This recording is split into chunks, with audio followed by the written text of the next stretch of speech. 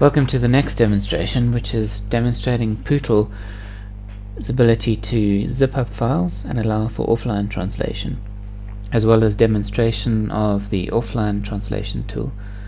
Please bear in mind that the offline translation tool is still very very early prototypes um, so I would consider it alpha software but it demonstrates some of the um, the practicalities of translating offline we're also aiming at a tool that implements most of the functionality that already exists in Pootle and will be even richer than Pootle can be. Pootle makes use of the Translate Toolkit and the offline translation editor will also make use of the translation toolkit. So there's the ability to reuse features in both. Here we're looking at the same page of, of pretend Mozilla files that we used for the online translation. This translator, however, is translating offline. So the first thing they want to do is get a zip file and and save it to their computer. They'd want to translate offline for a few reasons. One might be that they work faster in an offline tool and don't like the delay that's inherent in on the internet. Let's save it to our desktop. The second reason would be that perhaps they're using an internet cafe to get their files. They want to put it on a memory stick, take it home and translate. Or bandwidth is really expensive wherever they live and they can't sit online all day or it's really really slow and tedious. So we're unzipping the the files that we want to translate. Let's look at them now. Okay, they're the five files that were on Pootle that we can now translate.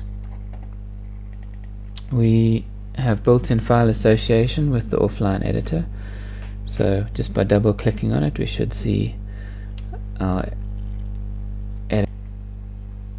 And there we are. We're setting in our editor. And let's begin translating. We can translate this quite quickly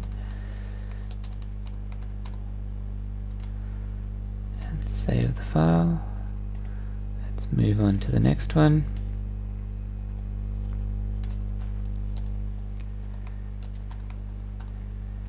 Now you can see some of the advantages we had in Pootle which were suggestions of translations are not yet in the offline translation editor but these will come very quickly. Other features that we're looking at are proper syntax highlighting So when you have snippets of HTML or XML, those will be highlighted. Things such as translation memory, etc. will also be there. And there'll also be the ability of the translation memory to be able to access a server directly. Um, that's a server that's perhaps um, on online across the web. So we have a combination of being offline with a standalone tool, but still connecting for translation memory or to upstream your translations.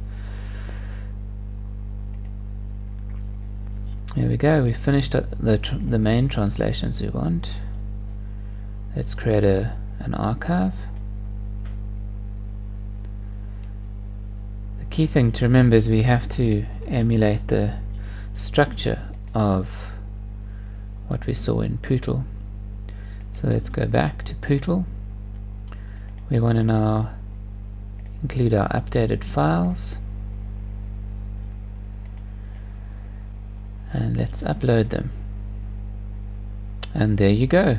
Our translations have been taken out of the zip file integrated into what's online and we're ready to go. We're ready to share our translations. We're ready to have them managed upstream etc one thing to be aware of, we regard um, contributions such as this um, with a bit of caution. So someone who's uploading something and it's untranslated, that will become the translation if they have upload rights and translate rights.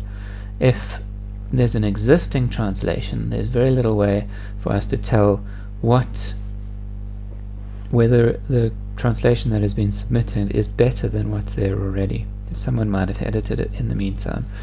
In that case, the person's translations are submitted as suggestions, and then they can review the suggestions um, and accept or reject any that are in conflict. But there you go. Someone has translated offline, they've contributed their translations, and they've been able to contribute to Mozilla even in a situation where there's low bandwidth.